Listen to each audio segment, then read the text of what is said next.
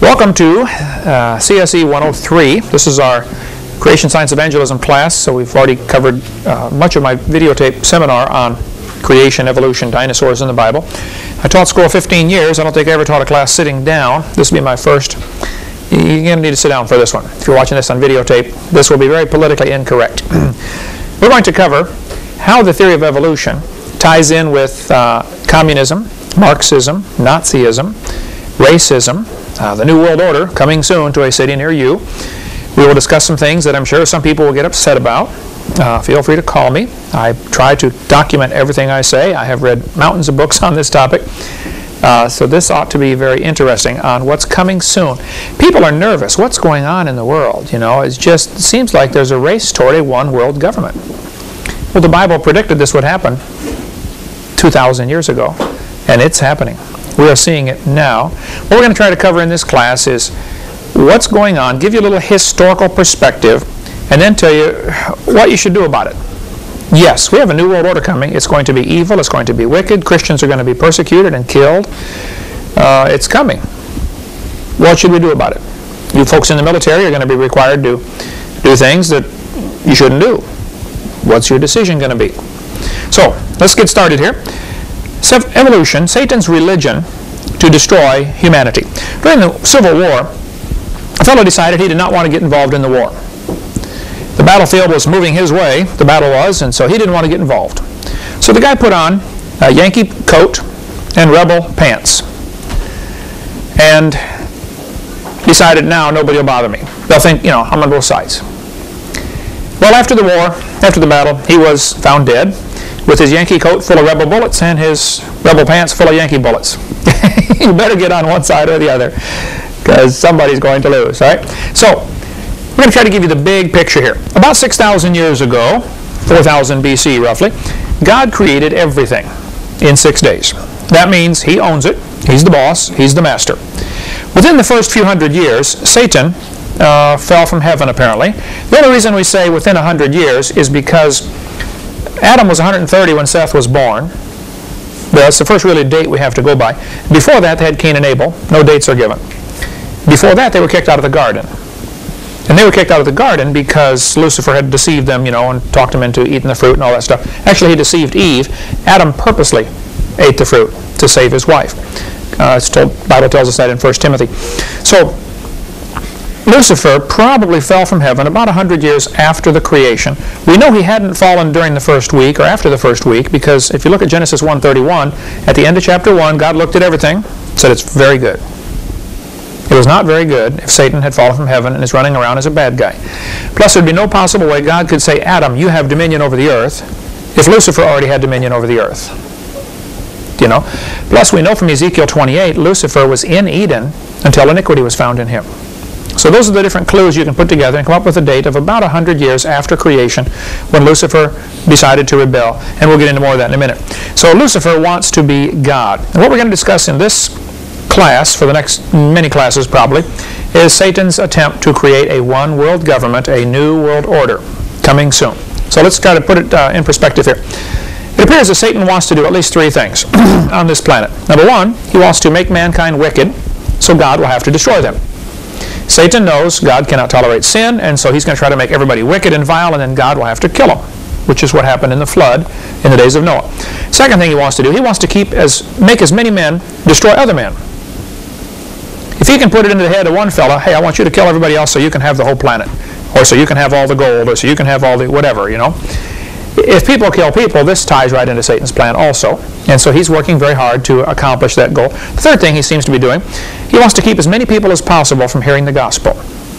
This would be where repressive regimes like communism come in, where you simply never get an opportunity to hear the gospel because you know it's banned in your country. So those type of repressive regimes are part of Satan's plan to keep people from hearing the gospel. Satan has used all kinds of different methods and people to accomplish his goals. As you read through Scripture, you'll see different times where there were attempts to make a one world government or a new world order, and we'll get into lots more on that, hopefully, as the class progresses. Um, if he, he knew if he could make man think he was God, then that would create some real serious problems. Because if, if there is no God to tell us what to do, if man is God, then how do you decide right from wrong? Well, the toughest man decides. You know, might makes right. Uh, whoever has the biggest gun, you know, he's in charge, kind of thing. And so that ties right into Satan's plan also to help destroy humanity and further destroy the world and leads to things like genocide, which we'll get into here during this uh, session. So the problem basically is very simple. We are in the center of the battlefield in the greatest war in history. This is Satan versus God. The battlefield is us. We're in the middle of it. You need, all you need to do is simply decide which side you want to be on, find out what your general wants you to do, and do it. It's just that simple. There's a war going on against God. Henry Morris has a great book called The Long War Against God. And they had an older, the different cover was different before, uh, but now they've changed it to this one, The Long War Against God. And this is one of the books you can read to do a report on for this class. Absolutely one of the best books I've ever read. Henry Morris traces the history of evolutionary thought all through the last 6,000 years. And we're going to concentrate primarily on just the last 200 years on this class, but we'll give you just a quick overview of some of the rest. Christians already have an incredible advantage over anybody else in the world on this topic when you discuss what's happening and what to do.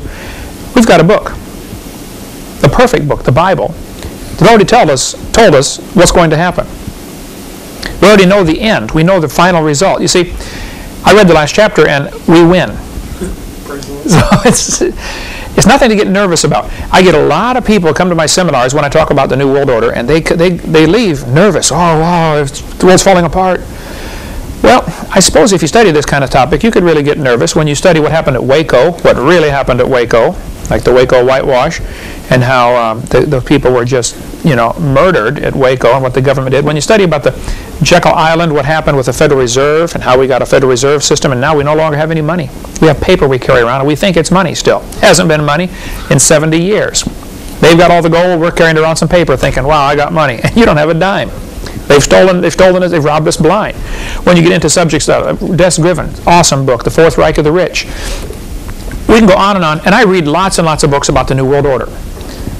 And it's enough to give, you know, make you nervous, unless you keep in perspective Psalms chapter 2. God is laughing at their plans for toy one world government. So the more I learn about the New World Order, you know, it is it is tempting to get nervous and scared about what's going on. But like, God knows, and He's not nervous. He's He's laughing at the whole thing because He knows we win. So keep that in perspective. So if, if you go through part of this class, you may leave going home scared, nervous, saying, "Wow, we're falling, the world's falling apart. You know, the sky is falling. What do we do?" You know, it'll be fine in the end. Okay, just read the last chapter. We win. So we're going to trace a little bit of the history of this war, so you can understand what we should do for our general, and relieve your fears about what may happen in the future. God created the world. He owns it. He makes the rules. Genesis 1:1. In the beginning, God created the heaven and the earth. The earth is the Lord's, and the fullness thereof, the world and they that dwell therein. Everything belongs to God, Psalm 24 tells us. So about 6,000 years ago or so, Lucifer decided he should be God.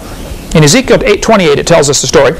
Thou, talking about Lucifer, was perfect in thy ways from the day that thou wast created till iniquity was found in thee. I don't claim to understand everything that happened here, how Satan uh, rebelled or what exactly happened in heaven. But it appears that Satan uh, rebelled first, decided he wanted to be God, apparently. His heart was lifted up. Bible says in Ezekiel 28 17, The heart was lifted up because of thy beauty. Thou hast corrupted thy wisdom by reason of thy brightness. I will cast thee down to the ground. I will lay thee before kings, that they may behold thee. How art thou fallen from heaven, O Lucifer, son of the morning? How art thou cut down to the ground, which didst weaken the nations? For thou hast said in thine heart, I will ascend into heaven. I will exalt my throne above the stars of God. I will sit upon the mount of the congregation in the sides of the north. I will ascend above the heights of the clouds. I will be like the Most High. This is the best glimpse we have from Scripture of what's going on in the mind of Satan. Five times he said, I will. He's exerting his will. He wants to be God, according to the book of Ezekiel. The next verse tells us, though, Yet thou shalt be brought down to hell, to the sides of the pit. He's going to lose. They that see thee shall narrowly look upon thee and consider thee, saying, Is this the man that made the earth to tremble, that did shake kingdoms? Whenever I read this verse, I think about the Wizard of Oz. You know the movie Wizard of Oz, and everybody is scared stiff of the Oz, you know, and they go in there and you see this huge face and the flames coming out, you know, and uh, the cowardly lion, and they all take off running, you know, and dives through the window and the whole thing. At the end of the movie, you find out Oz is nothing but a little bitty, little bitty guy behind the curtain pulling some levers. I think at the end of history, we're going to find out Satan is a puny little fella, and we're going to marvel and say, this is the guy that caused all this trouble on the earth? This is him? Come on, you got to be kidding. We're just going to be amazed at what a wimp he is when he's cast down into hell. Meantime, he's pulling the levers and making the smoke and the fires and the flames and scaring everybody half to death, and people are scared stiff of the devil. Okay, next verse says, This is the man that made the world as a wilderness, and destroyed the cities thereof, and opened not the house of his prisoners. But we can talk a long time on this verse. Satan takes people prisoner to different things like drugs, alcohol, and it's tough to get them away. How many people do you know that have died of a habit like that, that they were made a prisoner, some kind of habit, then they, you just can't can't get them away. Many people get hooked on drugs and they never can get off. You can get hooked on just about anything and get that way. Uh, but while Satan and his followers are making their plans to rule the world, like Pinky and the Brain, how many have seen the cartoon Pinky and the Brain?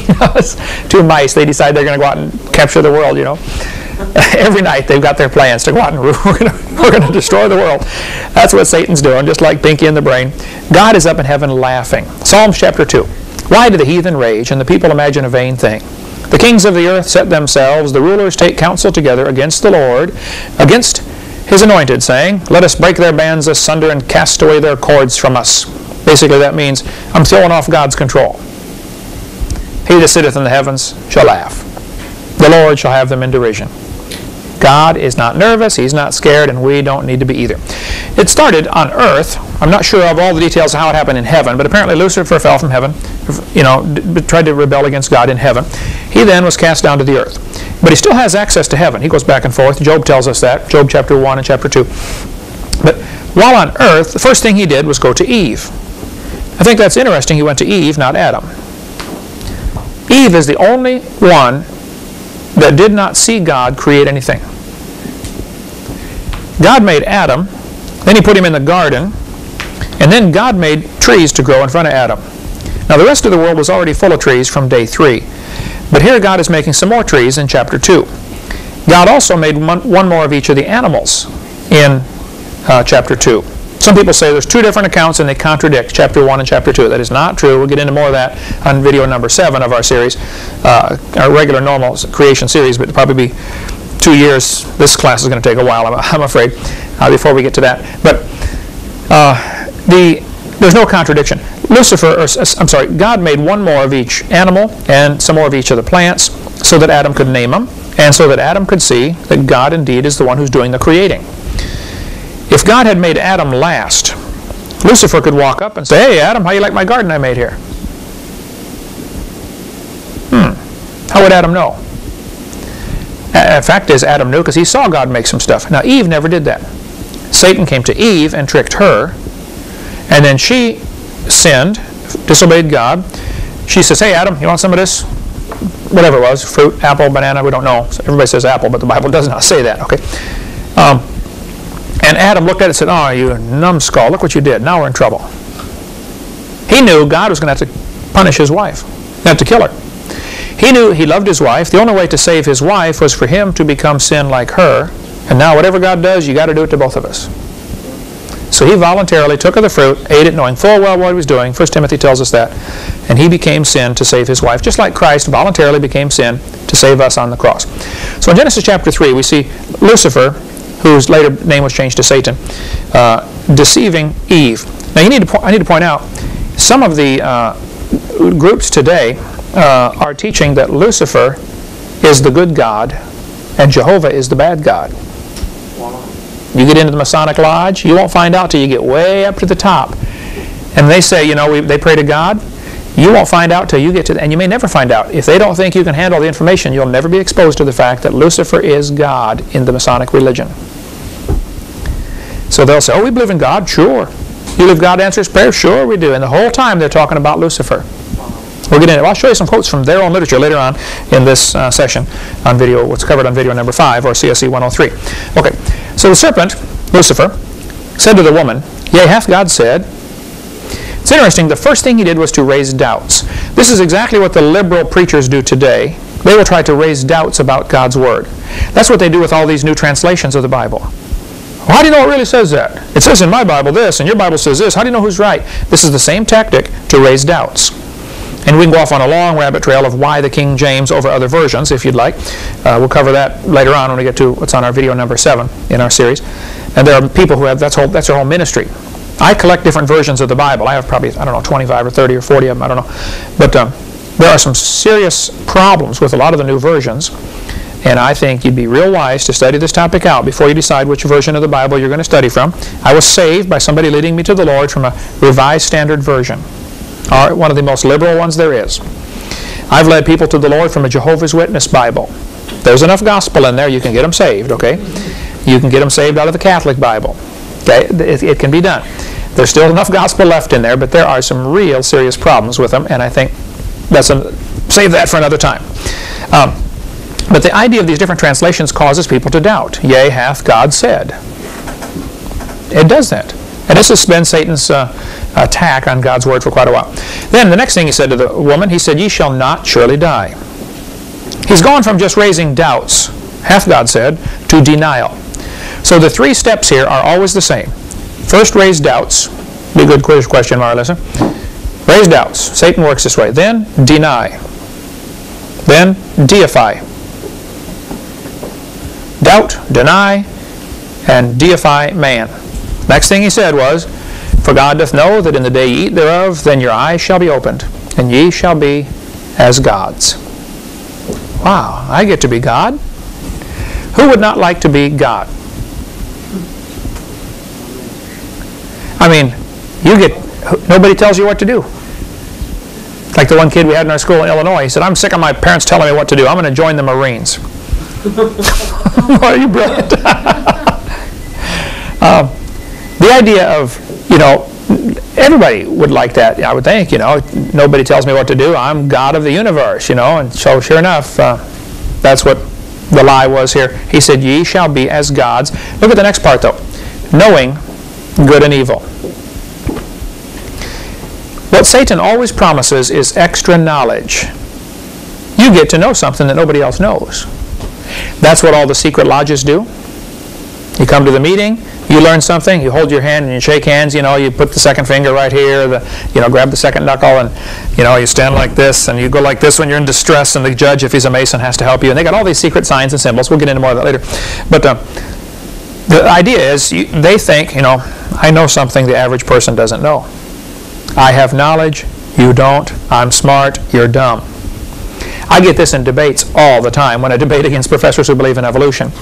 And very frequently they will say something and I'll have to translate it for the audience. They'll say, well, you know, the average person doesn't understand how technical this debate, this, this topic is. So I'll say, folks, what he means is he's smart and you're dumb.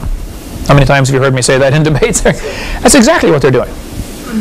When you see this in letters to the editor or books about evolution, you know, the average person doesn't comprehend, but you know, now, basically, they're saying, if you don't believe in like we believe, then you're dumb. And Satan always does this. He promises, you know, you follow me and you will have knowledge. The light. That's why he's Lucifer, the light bearer. I will bring you more knowledge, more wisdom, more light. We can go off this beautiful sermon's been preached for years and years on that topic. How Lucifer promises more light, more knowledge. Next verse. Uh, I'm sorry. Uh, this fellow in the American Humanist said, the turning point in history will be the moment that man becomes aware that the only God of man is man himself. The humanist religion teaches man is God. We're it. There is no deity to save us, so we must save ourselves. That's in the Humanist Manifesto. 1933, the first Humanist Manifesto was written, and then the second one came out in 1973 many famous people that if I listed the names, you would say, wow, I know that one. You know, I know that one. John Dewey, for instance, the guy responsible for the type of education system we have today. Our modern public school system with the uh, progressive education was John Dewey. Uh, and he, he, um, he was one of the signers of the Humanist Manifesto. Basically, the idea of humanism is there is no God, and so we must be God. After all, we're the highest evolved creature there is. So we're probably it. And that's the idea behind humanism. So, getting Eve to believe she was God was the beginning of a strategy that Satan would use for the next 6,000 years. This whole idea that man gets to decide right from wrong. Tell me, what is the basis of a democracy? man's opinion. The majority decides right from wrong. So when they get together in Congress or in the Senate and they're voting on a, a law, some people say you can't legislate morality. That's all Congress does, all day long. Every law legislates morality. There's no such thing as a law that doesn't legislate morality. You're telling somebody else what to do. That's what all laws do, okay? So don't give me this, you can't legislate morality stuff. Um, the uh, idea that man decides right from wrong is flawed from the start. Because if, if that's true, if evolution is true, if there is no God, Adolf Hitler was right.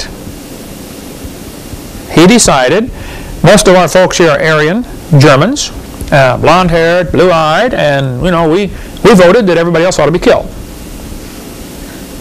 Hey, majority decided. What you need is a different standard to say, you know, thus saith the Lord, is how you decide. When I was at the cabinet shop, we had a problem. Uh, we were building real fancy display cases for Gayfers and Saks Fifth Avenue and stuff like that. And we had a problem because the, we were building these cases that were curved and they had to go around and end up at the other side and match. Well, if every one isn't curved just right, you know, it comes around and doesn't match. And so here I was in charge of the uh, uh, first department that cut out the wood and put them together. We sent it on to get the lamination and paint and lights put in and stuff like that. Um, and we were having a problem. It wasn't bad, but it was they were coming off. They were off by say you know half an inch by the time they got around the circle. So I traced the problem down as I racked my brain over it and found out that every person in my department was measuring their pieces as they cut it, the rulers were slightly different. All it needs is a you know eighth of an inch difference on somebody's ruler from your, you know his ruler and your ruler. Suppose I told uh, we're going to get all the guys together in the church and we're going to build a, uh, an auditorium, and I'm going to give everybody a tape measure, but every tape measure is vastly different. On some tape measures, this is an inch. On other ones, this is an inch. How's that building going to turn out? Wow. Pretty bad, if it'll turn out at all, right? So the idea is you have to have a standard. We have a National Bureau of Standards. They keep a meter stick in a carefully climate-controlled environment, and everybody makes copies of this meter stick. You know, we have there's a standard meter.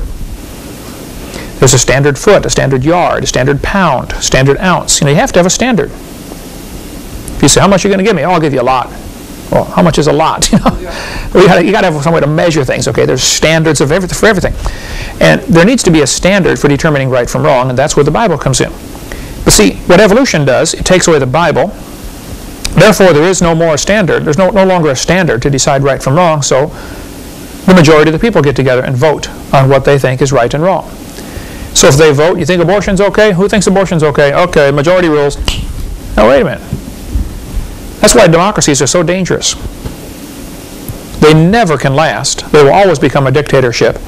And I get real nervous when I hear uh, leaders in our country saying, we're going to spread democracy around the world. That'd be the dumbest thing we could do. We need to spread, spread righteousness around the world, spread godliness, but democracy is a horrible form of government because the majority can simply vote to annihilate the minority. Now, a republic is very different. A constitutional republic is what our founding fathers gave us. We'll get into more of that later. So, Scores of people have made attempts to conquer and rule the world down through history. He wanted to use this idea that man can be God, and of course, whoever's in charge is, you know, is God. They, they think they're God. Whoever has, you know, the biggest gun or the biggest sword or the biggest club or the most people following him, he's God. Satan caused so many to be wicked in the days of before the flood that God destroyed the world with a flood. God always has his faithful few, though, that disrupt Satan's plans. Here's what happened. God created the world. Satan became proud of his beauty, decided man should worship him. Satan rebelled against God, and he was cursed. And then he, God said, someday some seed of the woman is going to bruise your head. That's the first prophecy of the coming Messiah, Genesis 3.15, and there's been a war going on ever since. Here's the prophecy right here. In verse 14, the Lord God said unto the serpent, Satan, because thou hast done this, thou art cursed above all cattle and above every beast of the field. Upon thy belly shalt thou go, and dust shalt thou eat all the days of thy life. And I will put enmity between thee and the woman, between thy seed and her seed. It shall bruise thy head, and thou shalt bruise his heel. Most Bible scholars interpret this bruising the heel as Christ dying on the cross. A bruise to the heel hurts, but it's seldom fatal. Ever get a stone bruise by stepping on a rock and you, you know you limp around for days afterwards? But it's not fatal. Not many die from a bruise to the heel. Uh, bruise to the head can be fatal. So most people, have, for, for all of history, have interpreted this passage as Satan's going to be able to bruise the Christ at the cross. He's going to hurt him, but he came back from the dead. And now that seed of the woman is going to bruise his head. Not over yet. Uh, and the idea of Satan, Satan knows, you know, some seed of the going to bruise my head, crush my head. Somebody's going to do me in. So he decided to kill every human being on the planet. He wants to utterly destroy humanity any way he can. Just like when Herod wanted to kill baby Jesus in Bethlehem. He's only after one kid, but he killed them all. Now, Jewish tradition tells us about 22 babies were killed in Bethlehem. Bethlehem's a small town. You know, there weren't a lot of kids under two years old. It wasn't like he killed thousands of people. But and Herod later did called, get, get called in for that and got in trouble. There's a great book called the Archko volume that deals with that, about some of the archaeological findings. Have you got to read any of that yet, Eric? That is awesome. I read you the passage about the Christmas, didn't I? And that, that whole thing is uh, about the arch. Anyway, we won't go off track here. So, um, just like Herod tried to kill all of the kids, he killed them all just to be sure to get the right one. Satan has decided he's going to kill every human being on the planet to try to, you know, be sure he gets the right one, to thwart or upset God's plans. Satan decided to destroy every seed of the woman to save his own skin. He knew God could not tolerate sin. So he worked hard to make man sin, so God would have to destroy his own creation, make them corrupt if possible. Genesis 6 5. God saw the wickedness of man was great in the earth, and that every imagination of the thoughts of his heart was only evil continually. And it repented the Lord that he had made man on the earth, and it grieved him at his heart. And the Lord said, I will destroy man, whom I have created, from the face of the earth, both man and beast, and the creeping thing, and the fowls of the air, for it repenteth me that I have made them. But Noah found grace in the eyes of the Lord. Lord always has somebody. Remember when the prophet thought he was the only one alive that was serving God? He ran away, you know, from Jezebel and ran for about 100 miles, I believe, and finally stopped under a juniper tree, and he's feeling bad, feeling sorry for himself. And the Lord said, Hey, uh, Elijah, I've got 7,000 that have not bowed the knee. You're not the only one. And about the time you feel like I'm the only one that loves God, there's a lot of people out there that love God. I'm an independent, temperamental, fundamental, right-wing, radical Baptist, but I'll be the first one to say there are some Lutherans that love God, and some Methodists, and some Presbyterians, and there are all kinds of denominations where there are folks that really, really love God and are really going to heaven. Now they have to join the Baptist church when they get there, but they do get to go. they do get to go to heaven. So, after the flood, Satan got right back to work corrupting people. Didn't take him but 100 years or so and Nimrod comes along and decides, hey, God said spread out, take over the world. No, we're staying right here. I'm going to lead my kingdom. And he built the Tower of Babel, you know, uh, to get a new world order. Lots of folks have tried this. Tower of Babel, shortly after the flood. Now, the Bible doesn't tell us when, okay? You can get a few clues together and say probably within the first 200 or 300 years is when the Tower of Babel incident took place. Some people have speculated that when the Bible says in the days of Peleg, the earth was divided, that's talking about divided by languages. Some people think in the days of Peleg, the earth was divided as in they decided, hey, there's so many folks, we better survey the property and see who gets what. Divide the land up. This is your part, this is my part. Let's put up a few fences here, or put some borders up, okay? Some people think the continents moved. I don't buy that for a second, because if you move a continent six inches, it kills everybody on the world, you know? be a tidal wave, go around the world ten times, and kill everybody. So I don't think that's possible. But you know, some people really hold to that theory that the continents moved away from each other. You know, and that would be, I think, tough to explain physically. There's all kinds of theories. We'll get into more of that later when we get into what's on part video number six on our uh, Hovind theory about the flood. But Tower of Babel was the first attempt after the flood to create a one world government. Then God divided them up by languages. They spread out, which is probably the best thing ever happened to humanity. Because you just can't get everybody together to develop a one world government. It's really tough. You know, the language barrier has kept it from happening.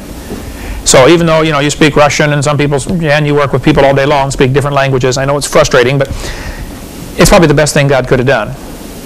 You know, to keep us from killing ourselves a long time ago. there would have been a world dictator a long time ago had it not been for that. So then you have ne Babylon. Nebuchadnezzar comes along as the first uh, world ruler to conquer a large chunk of the world. There's an interesting uh, story in the book of Daniel. If you're going to study prophecy, what's going to happen in the future, you really need to start with Daniel. and then study Revelation. It's like the two books go together. God told Daniel to write this book. When Daniel got done, he said, Lord, what does this mean? The Lord said, Daniel, don't worry about it. Put the pen down. This is for the next, somebody else will finish this up. And then John comes along on the Isle of Patmos, you know, 2,000, what, was, uh, what would it be, 600 years later, and finishes the Revelation. Uh, so Daniel and Revelation go together and should be studied together. But here's the story. Daniel chapter 2. In the second year of the reign of Nebuchadnezzar, Nebuchadnezzar dreamed dreams, wherein his spirit was troubled, and his sleep brake from him. Then the king commanded to call the magicians, the astrologers, the sorcerers, the Chaldeans, for to show the king his dreams. So they came and stood before the king. And the king said unto them, I have dreamed a dream, and my spirit was troubled to know the dream. Then spake the Chaldeans to the king in Syriac, O king, live forever. Yeah, that'd be a wonderful thing, wouldn't it? they all say that. They don't really mean it. They, they will hope he dies so they can be king. right? O king, live forever. Tell thy servants the dream, and we will show the interpretation. And the king answered and said to the Chaldeans, The thing is gone from me. I don't remember the dream. And if ye will not make known unto me the dream with the interpretation thereof, ye shall be cut in pieces, and your houses shall be made a dunghill. In other words, you are in trouble, fellows, okay? And of course, you know the story. They couldn't tell the dream, so the king decided to start killing all the wise men. These guys are a bunch of fakes anyway, and they were. And along comes Daniel. Yeah, Daniel's in an unusual situation here. He and 7,000 of his schoolmates have been taken away from their home, taken away from their country. Probably their families were killed. Thousands and thousands were killed. They bring them to Babylon. These kids are all teenagers, 16, 17, 18 years old roughly. They make them eunuchs. Look that up in the dictionary. Uh, they give them different clothing to wear, get, make them learn a new language, and subject them to slavery. I mean, you have zero authority, zero rights. I mean, you just, what future do you have? Daniel decides, hey, I'm going to make the best of a bad situation. I'm going to try to do the best I can. Sometimes you get yourself in a situation where you say, okay, I'm here, what do I do? Let's just do the best with what we got. Other people get in a bad situation, they get falsely accused, they end up in jail, and they get bitter. Some people get better, some get bitter. Uh, Joseph in the Bible is a good example. You know, he's falsely accused by uh, his master's wife. Here he has already been sold by his brothers to be a slave. Know, things aren't going too well for Joseph in life. Ends up in jail for 13 or 17 years. I think he was 17 when he went, and he was in for 13 years, 30 altogether. 13 years in jail for doing nothing wrong. Decided, hey, let's make the best of it. Um, sometimes you just have to get yourself that attitude of, okay, things aren't going well, let's do the best we can. Joni Eareckson Tada, what, she's 17 or 18 years old, dove in, broke her neck, paralyzed, waist down. Neck down, yeah, neck down. What am I going to do? Well, let's just, uh, let's learn how to type and let's write books. All you can do is move your head, you know, put a pencil in your mouth and type, type. Hey, okay, you can get bitter about it if you want, but you might as well get better and let, hey. And she paints, yeah, and has radio program, you know sweet, godly spirit. Uh, anyway, so Daniel then comes in and says, Hey, king, I can not only tell you what the dream was, I can tell you what it means. Now, as you read Daniel chapter 2, it's interesting. Uh, Daniel really gives a good testimony for the Lord. He said, It's not in me, O king. The God in heaven, who rules everybody, including you, has told me this dream. Nebuchadnezzar didn't like the idea of anybody telling him what to do, but uh, Daniel, little Daniel, this eunuch servant boy, is about to tell the king a message from God. I love this chapter. We'll take that up after a quick break. Daniel chapter 2.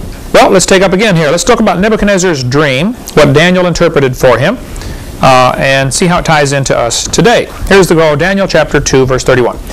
Thou, O king, sawest, and behold a great image. This great image, whose brightness was excellent, stood before thee, and the form thereof was terrible. The image's head was of fine gold, his breast and arms of silver, his belly and thighs of brass, his legs of iron, his feet part of iron and part of clay. Thou sawest till that a stone was cut out of the mountain, cut out without hands, which smote the image upon his feet, that were of iron and clay, and brake them to pieces. Hmm. So the statue that he saw is basically the head of gold, chest and arms of silver, belly and thighs of brass, legs of iron, and feet of iron and clay mixed together. This was symbolic of the next five great kingdoms to come on earth. Later on, if you read the book of Daniel, Daniel says, Nebuchadnezzar, thou art the head of gold. Now it's interesting, each of these metals, gold, silver, brass, iron, iron and clay, become less valuable.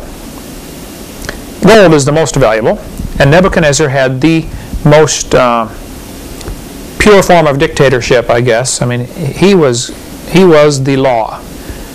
Nobody, they didn't vote on anything. All he had to do was decide, I want you to kill that guy right there. Yeah, but I'm going to appeal to who? to me? okay. Well, here's the case again. You're still going to the prison or whatever, you know. Uh, nobody told him what to do. When you get to the arms of silver, you're talking about the Medo-Persian Empire, which was the second great world empire. They wanted to rule the world, but they were the, their king was not an absolute dictator. I mean, they had laws, and he had to abide by the law. And even when the king decided, you know, he was tricked, you know, and they were going to throw Daniel in the lion's den and all this stuff, the king was tricked and bound by his own laws. Nebuchadnezzar never would have been bound by his own laws. He just would simply change his mind. Then you get to the belly and thighs of brass. This is symbolic of the Greece, uh, Greece Empire of Greece, Alexander the Great, uh, who ruled uh, all the known world and died at age, what, 30 or 32 and said, oh, I wish I had more kingdoms to conquer. Nobody else to beat up. You know, I got them all. But brass is not near as valuable as silver. Uh, then you get to the legs of iron, and that, notice there are two legs. This most Bible scholars interpret as being the iron legions of Rome, which split into the eastern and western divisions, one at Rome and one at Constantinople. And then you get to the ten toes on the image's feet, which has iron and clay mixed. Iron and clay don't mix. Partly strong, partly weak. This, almost all Bible scholars will tell you, is symbolic of the next, the last kingdom that the world is going to see. Uh, last human kingdom is going to be a revival of the Roman Empire. Probably something like the European Common Market. You know, ten kingdoms are going to get together, try to give all their power to one person, and it, it's not going to be very good. It's going to be a dud. Um, see, iron, the Iron Legions of Rome would, would uh, just stomp on anybody got in their way. They rolled over everybody that opposed them. Uh, the iron and clay mixed together, this final kingdom is going to be weak. A lot of people are really nervous about the you know New World Order and the you know it's it's going to be iron and clay. Okay, it's not going to work. It's going to rule for a short time and be destroyed by the stone cut out without hands. Now that's interesting. Jesus Christ is the chief cornerstone. We'll get into more of that later. In Daniel chapter 2, verse 20, 35, it says, Then was the iron, the clay, the brass, and the silver, and the gold broken to pieces. Now remember, the stone cut out from the mountain, we see later, hit the image on the feet and crumbled the entire thing, all the way up to the head. This is Nebuchadnezzar's thinking, wow, that's right, I remember that in the dream. Yeah, that's right, you know. he had forgotten the dream and sure didn't know what it meant. All he knew was he woke up scared, you know. So Daniel's telling him the dream and telling him what's it, what it means. So let's keep reading here. Broken to pieces together and became like the chaff of the summer threshing floors, and the wind carried them away, that no place was found for them. And the stone that smote the image became a great mountain, which filled the whole earth. This is going to be the kingdom of Jesus Christ. And you can go off into all sorts of rabbit trails here, how some people think that the Great Pyramid is symbolic of this, and Jesus, the, the chief cornerstone was never put in place on the pyramid. Jesus Christ is the chief cornerstone. We'll get into more of that later as one of the theories of what this all might be talking about. Then Daniel said, This is the dream. I like that kind of confidence, you know. Hey, I'm just a little 17 year old kid. I know you're King Nebuchadnezzar, but hey, this is how it is, fella. You know? I do that in debates sometimes. I'm thinking, these guys are college professors. They've been teaching this stuff for 30 years, you know. They're a lot smarter than I am. But look, fella, you're wrong. I'm right. Period. This is the dream. And we will tell the interpretation thereof before the king. Thou, O king, art a king of kings. For the God of heaven hath given thee a kingdom, power, and strength, and glory. And wheresoever the children of men dwell, the beasts of the field, and the fowls of the heaven, hath he given into thine hand and hast made thee ruler over them all. Thou art this head of gold.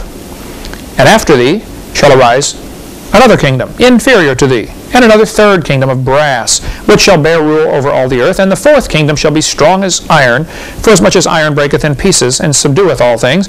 And as iron that breaketh all these, shall it break in pieces and bruise. And whereas thou sawest the feet and toes, part of potter's clay and part of iron, the kingdom shall be divided But there shall be in it of the strength of the iron, for as much as thou saw the iron mixed with the miry clay.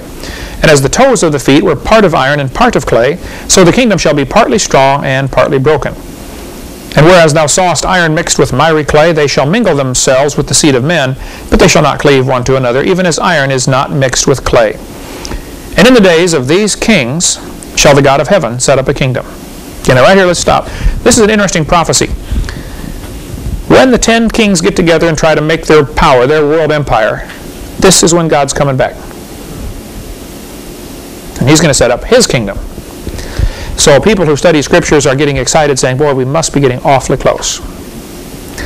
Now, the European common market might not even be. It, we might have 500 more years. Okay, what they're attempting to do in Europe with a unified Europe and all this, it may all fall apart. Okay, there have been many attempts at world, world empires before, and they have disintegrated. Um, I would not stick my neck out and say, "Boy, this you know this proves the Lord's coming back." You know, tomorrow at 10 o'clock in the in the morning. You know, I don't have a clue when He's coming, and we might have a long time. If the Jewish calendar is right, the Hebrew calendar, they say this is the year 5760. Well, then we've got, if 6,000 means anything, we've got 240 more years. One guy wrote a book, you know, 88 reasons why the Lord will come in 88. well, that was uh, a while ago, you know, he missed it. Then he revised it and had a pamphlet out, 89 reasons why the Lord will come in 89. And the 89th reason was? I don't remember. Because he, didn't come in 88. Was that the 89th reason? okay. Um, that's dumb, okay? Don't do that. I don't know when the Lord's coming. I tell people, we figure the Lord's coming back 2,000 years, you know, from the birth of Christ. This is the year 2001 now, but um, the Lord might be. We know our calendar is five or six years off. Okay, not too many folks argue about that. Christ was born in four, five, or six B.C. Um, so our calendar is off for sure. So this is already the year 2007 or eight. Okay. Oh, we missed it. so we missed it. Yeah. Well, the Lord might be coming back 2,000 years from the resurrection instead of from the birth. I mean, why would we figure from the birth of Christ? Why not from the resurrection? Or why not from the triumphal entry into Jerusalem? Maybe that's the significant. And I tell folks, I don't want to hurt anybody's feelings or you know disrupt anybody's book sales on 88 reasons why the Lord will come in 88, but maybe God's not even using your calendar. maybe he has his own. Okay, so don't sell your clothes and go stand on a mountain and say, okay, the Lord's coming, you know, today, now, because you might stand there embarrassed. Okay, let's go on here. and in these days shall the King of heaven, shall the God of heaven set up a kingdom which shall never be destroyed. And the kingdom shall not be left to other people. But it shall break in pieces and consume all these kingdoms, and it shall stand forever. For as much as thou sawest that the stone was cut out of the mountain without hands, and that it brake in pieces the iron, the brass, the clay, the silver, the gold, the great God that hath made known to the king what shall come to pass hereafter. And the dream is certain, and the interpretation thereof sure. I like that confidence, man. Revelation continues the story. Daniel brought it up through the next five kingdoms, including one that uh, still hasn't happened.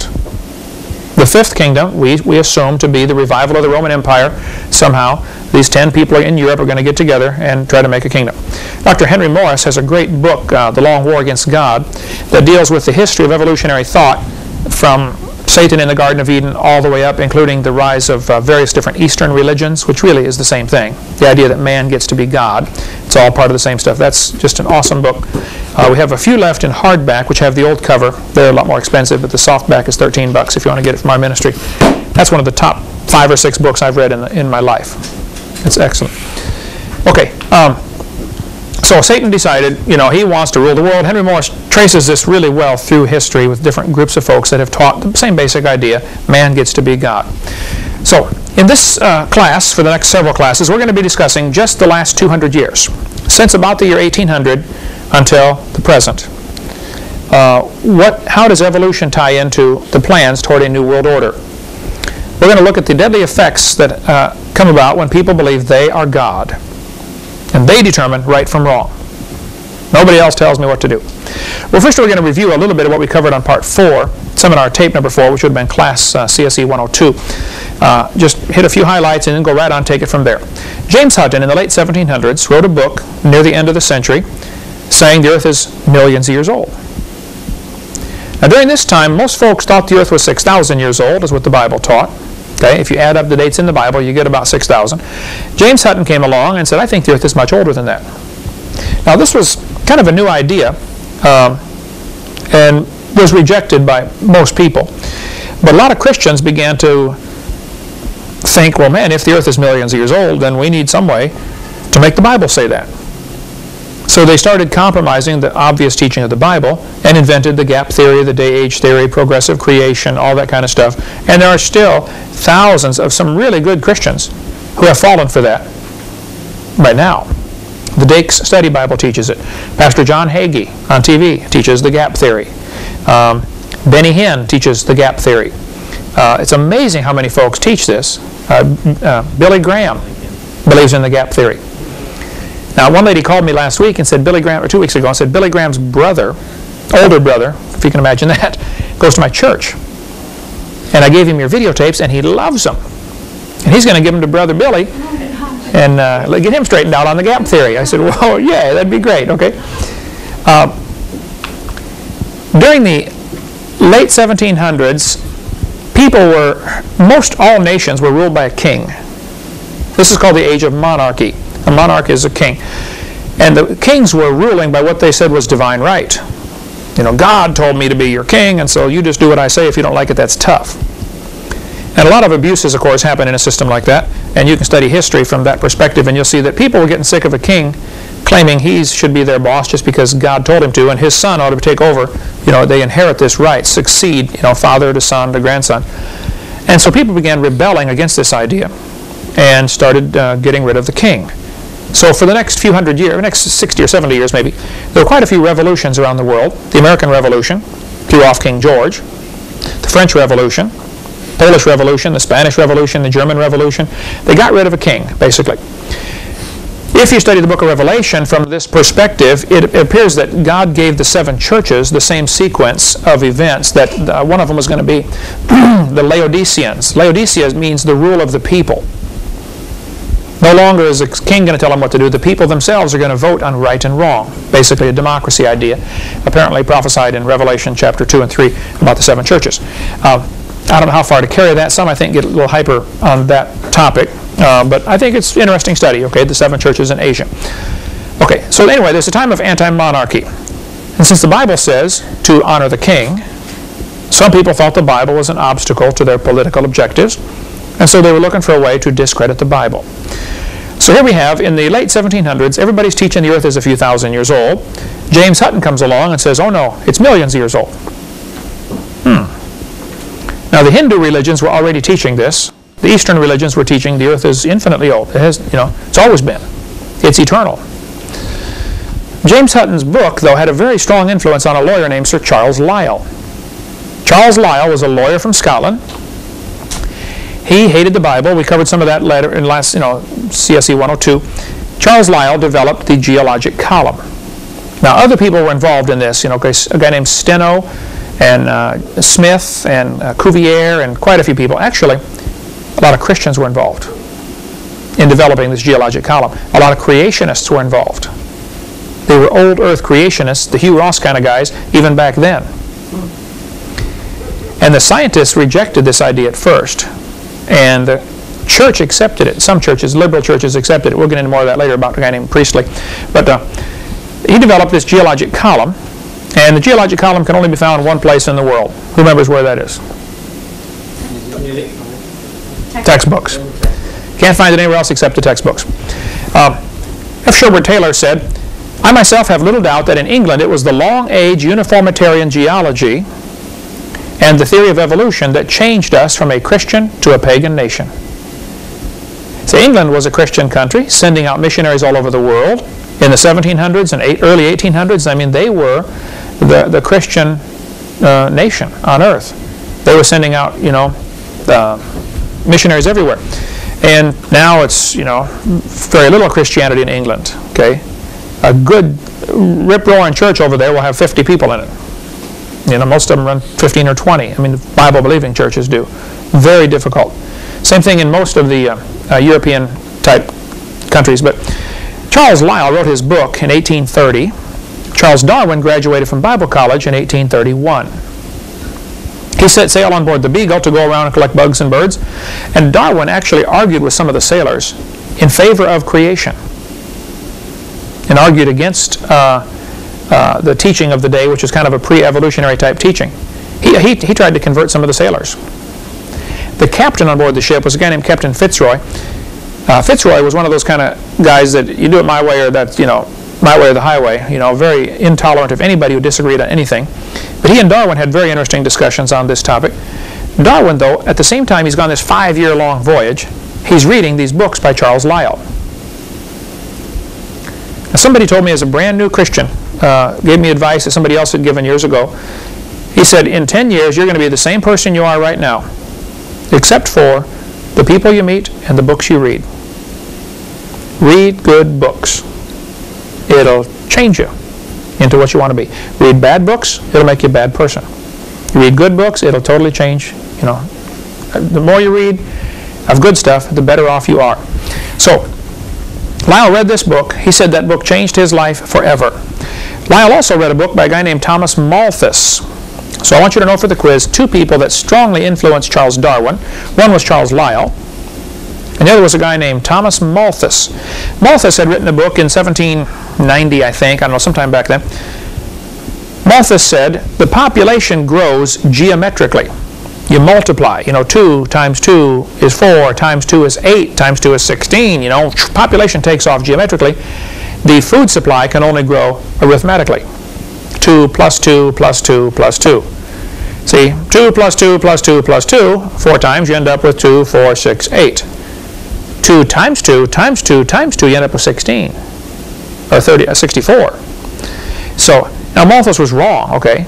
As the population grows, there are more people available to plow the land. But he's looking at it totally wrong. Malthus affected a lot of people back in those days. Basically, the idea was, look, there's going to be more people born than can possibly survive because the food supply is limited. That was his faulty thinking, but whether he's right or wrong at this point doesn't matter. The fact is he did influence Charles Darwin. So Darwin thought, well, let's see, if more people are born than can possibly survive, then um, the weakest are going to die off. Nature is going to select the strongest to survive and the weakest to die off. Anybody seen the movie The Christmas Carol? Charles Dickens, every Christmas they play that thing. This was supposedly taking place uh, set in the early or mid 1800s when evolution was a popular theory. And the teachings of Thomas Malthus was still very influential. Remember when uh, the uh, Scrooge was asked the question, what about this person that's going to die, you know? And he said, well, let them die and decrease the surplus population. Remember that phrase in there? And later on, the Ghost of Christmas Present, or one of those, you know, said, he repeated that back to him. Let them die and decrease the surplus population. Well, that is exactly what the thinking of the day was. Are there no workhouses? That's what that that was. It's so classically true of that time period because of Malthus's teaching that uh, you know the, you, everybody can't live. So since everybody can't live, it's best if the weak ones die. Otherwise, the whole population becomes weak.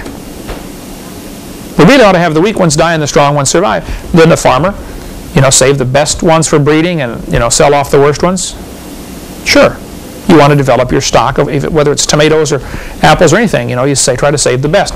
Um, so in 1790, James Hutton's book began people on the trip of doubting that the earth is 6,000 years old, which of course made them doubt the Bible. A few years later, Charles Lyell comes along, makes people take away the flood.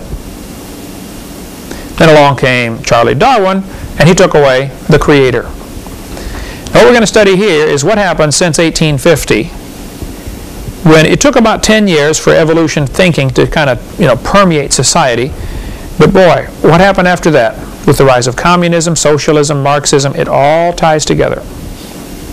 And i don't think you can possibly understand history of the last 150 years and how it's going to affect you today until you see how evolution ties into this.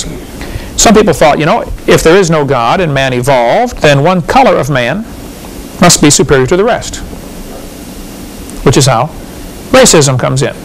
Now, there's always been racism, okay? People have subjugated other folks because of their skin color. But uh, when you think you're God, then you get to make these kind of decisions. The Bible says clearly we're all descended from one family. There's no reason to be a racist. But uh, evolution would teach one race must be superior. Looks like this uh, Harold Rafton said, uh, do humanists believe in a supreme being? Emphatically, yes. That supreme being is man. Humanists have no knowledge of any being more supreme.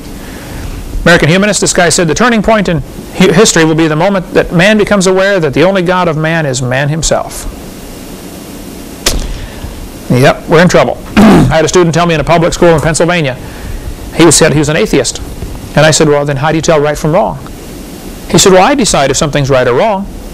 He said, I'm the God of my own universe. What a philosophy. I said, well, son, I'm glad to hear that because I'm going to shoot you in five minutes. He said, you can't do that. I said, oh, yeah, you can. You see, I'm the God of my own universe. And I decided it's fine for me to shoot you. What's wrong with that thinking? If evolution is true, what's wrong with that thinking?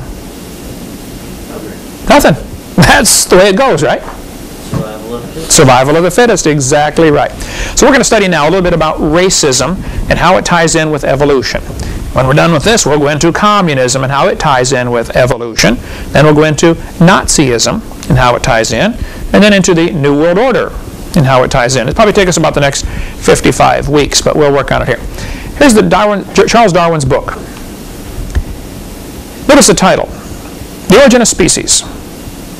Now, that is not the entire title to the book. We'll get into the whole title in just a minute, okay? But almost all the books, if kids today hear about Charles Darwin's book, they're only told the title was The Origin of Species. One thing you need to know for the quiz is the real title to the book, coming up next. Now, the evolution theory came out way before Charles Darwin in 1859, okay? Charles Darwin's grandfather, Erasmus Darwin, taught the same thing. Erasmus Darwin was a medical doctor. He was so huge they cut out the table to allow a place for his belly while he ate. He had a special table, custom made, cut out, just so he could sit there and eat. But he really came, he rejected God, rejected all sorts of things, and he pretty much wrote most of what Darwin wrote. And most, many people think that Darwin simply plagiarized or stole the work from his grandfather and claimed it as his own. Never gave Grandpa any credit whatsoever.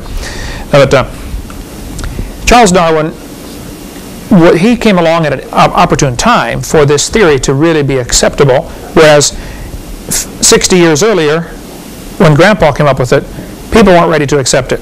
There were too many strong Christians still, you know, the, around 1800. So he called it the origin of species. now, you got to be careful when you get into a discussion on creation evolution.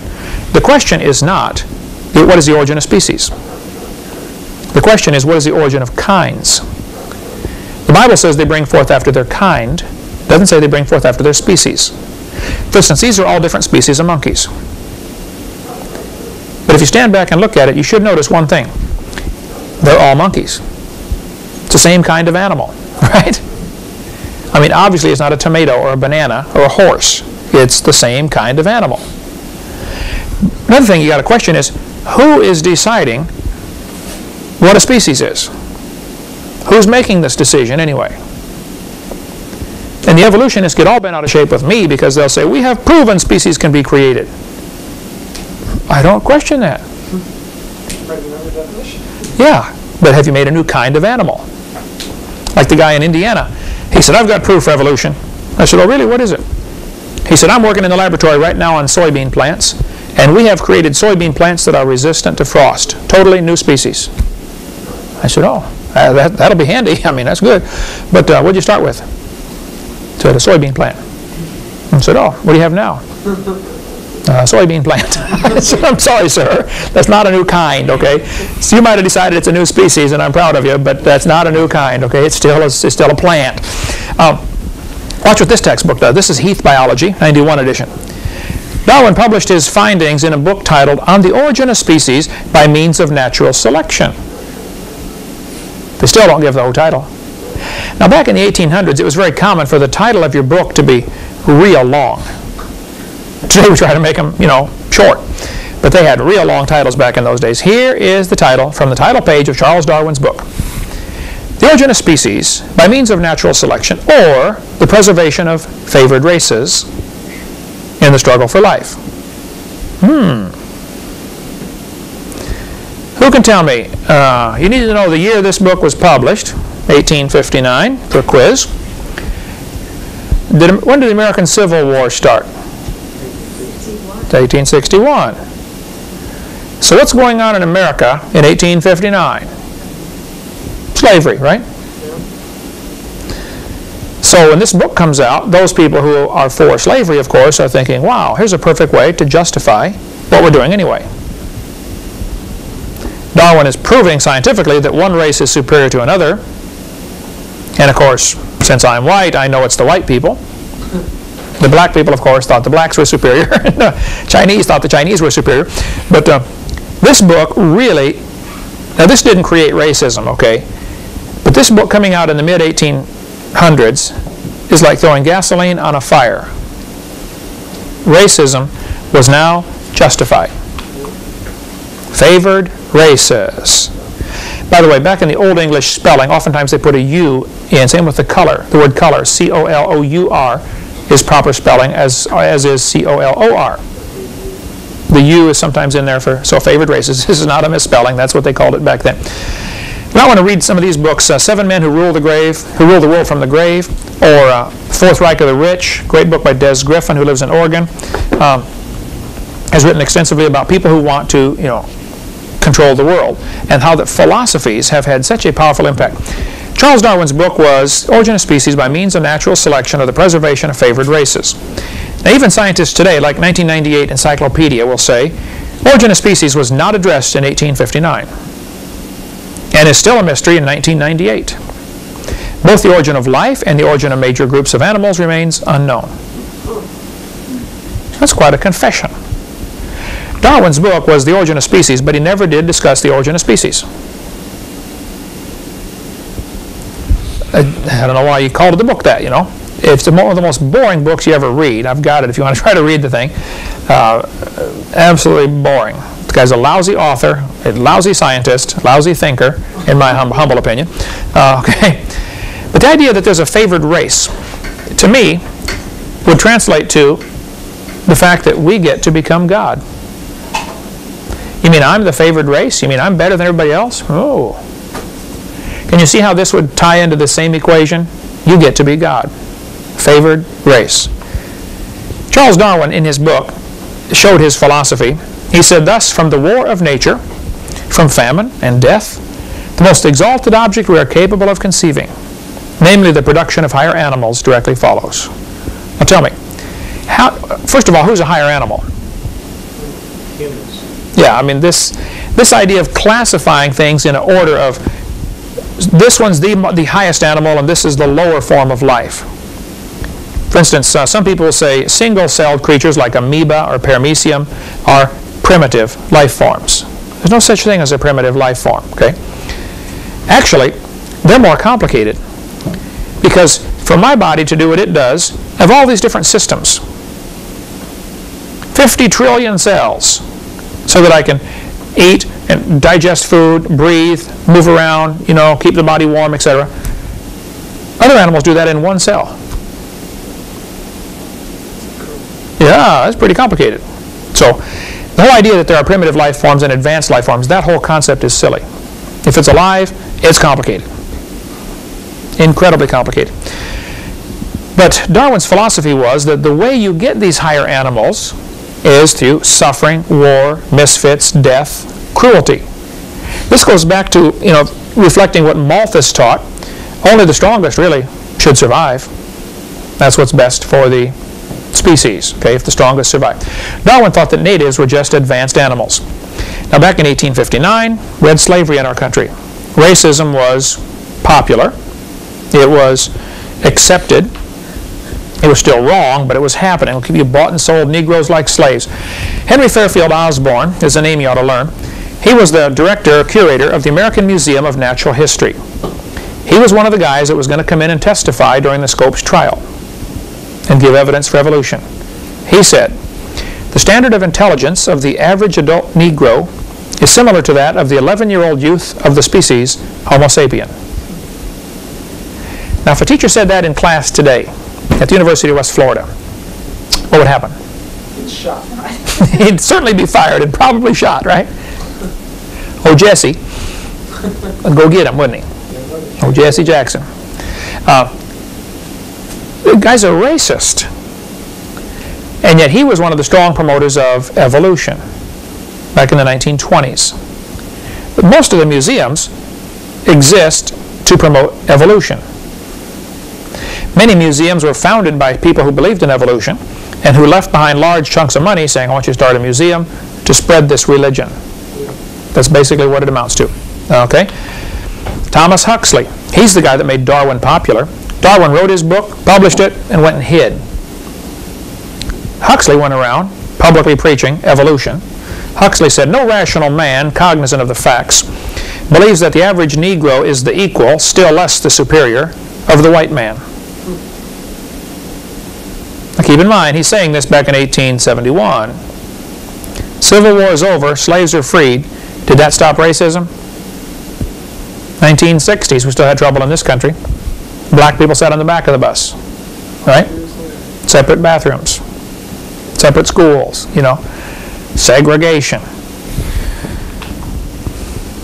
This uh, priest, uh, Priestley said, the black people of Australia, talking about the Aborigines, exactly the same race as the African Negro, cannot take in the gospel. All attempts to bring them to a knowledge of the true God have as yet failed utterly. Poor brutes in human shape, they must perish off the face of the earth like brute beasts. You ever see the movie Quigley Down Under? Mm-hmm. They hired this Quigley guy to come in and shoot Australian Aborigines because he thought they were inferior. They're just an animal. I was out uh, soul, out soul winning one night in uh, Longview, Texas. I had a bus route in an all-black neighborhood. For 17 years, I drove a church bus and picked up black kids and brought them to church. Had a wonderful time. Loved it, okay? Many times I'd be out there at midnight, the only white guy in the whole complex, you know. a little nervous once in a while, but hey, that really, I had a wonderful time. Loved it. I've brought thousands and thousands of black people to church and to the Lord, okay, got them saved. But I'm out there, I couldn't sleep one night, so I got up 2 in the morning, drove down to my bus route to go visiting, because there's always folks up at 2 in the morning in the black neighborhoods, you know. Uh, and this one guy uh, had got, was drunk. He was turning his car, thinking, thinking he's going down the road, but he drove down the railroad tracks instead. Turned too soon. He drove about 20 feet, and the rails bottomed out, you know, stopped his car, so he's stuck. And the drunk guy's out there trying to figure out, well, how come my car won't move, you know? So I thought, man, a train's going to come and plaster this guy all over the county. So um, I got out of my car, not on the tracks, and I walked down to help this guy. A couple of other folks stopped, and we went down and tried to push the guy's car backwards. And uh, I got talking to one of the men who stopped to help, and he said, what are you doing out here? This is a dangerous neighborhood. I said, no, this is my bus route. I come here all the time. I know most of these folks. He said, your bus route? I said, yeah, I drive a bus in here from bringing these folks to church and, you know, tell them about the Lord. He said, these folks are all black. I said, well, not the palms of their hands. he said, black folks don't have souls. This was uh, Texas. My kids were little, so 20 years ago. I said, black people don't have souls. I said, are you part of the KKK? He said, yeah, how'd you know? Just a lucky guess, you know. The idea that black people don't have souls is still being taught today, folks. Okay? Racism's not over. Now, Kingsley, Charles Kingsley, was an Anglican priest who promoted Darwin. If it hadn't been for Kingsley talking other Anglican priests and church people into believing in evolution, it probably would have been a dud as a theory. Priestley's the primary guy who got the church people to believing in evolution. So put his name down as a quiz question. Who's the Anglican priest that promoted evolution? The scientists rejected Darwin's idea. You think a people can come from a rock? Yeah, right. Nobody believed that. Priestley got all the church people believing in it. Pretty soon this evolution theory spread around and Charles, I'm sorry, Charles Kingsley, I keep saying Priestley, Kingsley was the Anglican priest who promoted this crazy idea. Back in this time, Africans were bought and sold like slaves. They packed them into ships. Here's an example of how they would loose pack them. The ship was allowed to carry uh, 454 slaves. We had 451 on this voyage. On one uh, voyage, she carried 609. Many times, slaves died on the trip. They just chained them to the deck. You didn't get up. You stayed right there for two weeks.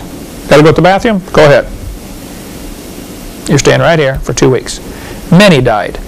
When slavery became illegal, or things, sometimes slaving ships would chain them all together, and if they were thought they might get caught, bring them up on board, push them overboard, drown them all, just so you don't get caught carrying a cargo of slaves. Uh, here's an example of how they would loose pack them so more would survive. Uh, they honestly considered them like cows or sheep. It's just an animal. They thought they didn't have souls. I don't think you'll understand the slavery of the 1800s until you understand how evolution ties in. One more thought and we'll quit. This is from Creation Ex Nihilo magazine. Um, a New South Wales missionary was the horrified witness to the slaughter by mounted police of a group of dozens of Aboriginal men, women, and children. 45 heads were then boiled down, and the 10 best skulls were packed off for overseas. They rounded up the Aborigines, shot them, cut their heads off, boiled them to get rid of all the flesh, and sold the skulls to museums for displays on evolution. The Smithsonian, right now, I have heard from very reliable sources, has 33,000 sets of human remains in their basement. Many of the displays that colleges will use as evidence for evolution, the shapes of the skulls being slightly different, you know, are from people that died in the last 200 years. Tasmania, uh, south of Australia, I met, I sat by a guy in the airplane a couple weeks ago from Tasmania. Um, the Tasmanian Aborigines were all slaughtered. There isn't one that survived. The last one was killed in 1908. And they took part of his body and made a tobacco pouch out of it for somebody to carry tobacco. Uh, it's unreal what happened. That stuff wouldn't have happened had it not been for the evolution theory. The Bible says all nations are of one blood. And there's no reason to be a racist at all. They thought the Abri- Aborigines had not evolved as far, therefore they're just an animal. It's okay to kill them. One of the evidences they used for this was the Aborigines have bigger jawbones. And they said, wow, see, that proves they used to be a monkey. They're closer to monkey than we are. We'll get into that next class, okay? How racism ties in. Then we're going to get into communism, and that's going to be very politically incorrect. You may not want to be here for those uh, next few classes, but see you next week. Thank you.